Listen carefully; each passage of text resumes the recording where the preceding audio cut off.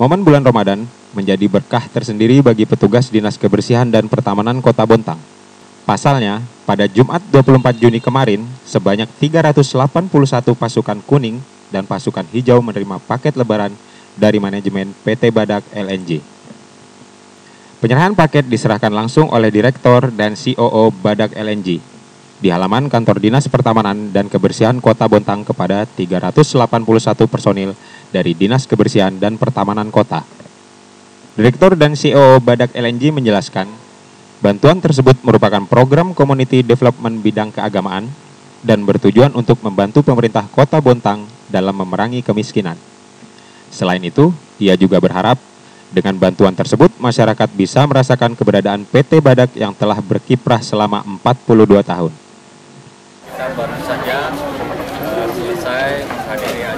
acara penyerahan bantuan uh, sembako kepada uh, pasukan kuning, pasukan hijau dari Dinas Kebersihan Kota Bontang dan Pertamanan Kota Bontang. Dan Alhamdulillah ini adalah program rutin dari Badak LNG di mana tujuannya adalah uh, agar masyarakat dapat secara langsung juga merasakan keberadaan dari Badak LNG yang telah beroperasi uh, 42 tahun di Kota Bontang yang kita cintai ini.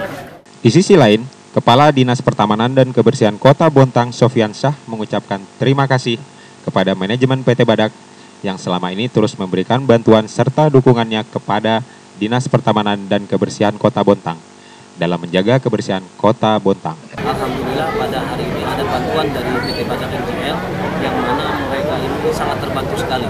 Dan kami berharap bahwa uh, artinya tahun demi tahun yang telah dibantu oleh PT Badak ini mudah-mudahan artinya uh, staf kami atau pegawai kami, karyawan kami, pekerja kami ini mendapat artinya betul-betul terbantu. Demikian Expos Kaltim melaporkan.